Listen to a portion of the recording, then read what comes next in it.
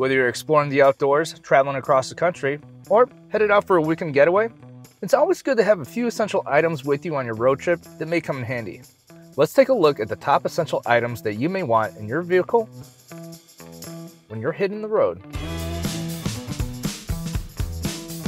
Make sure you have a functional spare tire kit. It could really save the day. Even if you don't know how to change a tire, it's much easier for roadside assistance tech to switch out a tire for you and get you moving. If you're headed out to the unknown, nothing could be more essential than having a first aid kit in your vehicle.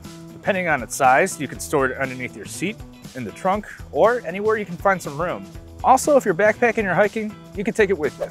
A roadside emergency kit is a must. Items like flat tire repair kits and tire inflators can get you on the road fast. Reflectors, flares, and safety vests will allow other drivers to see you, especially at night.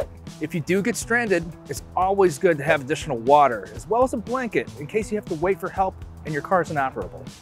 Another road trip essential is a battery bank.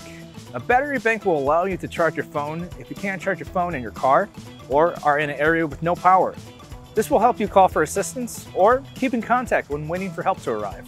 Speaking of batteries and phones, another great essential item for your road trip is the WeatherTech Cup Phone. This allows you to adjust the perfect viewing angle for your phone while navigating hands-free. So if you're heading now or planning a road trip, consider these essential items for your car. Safe travels!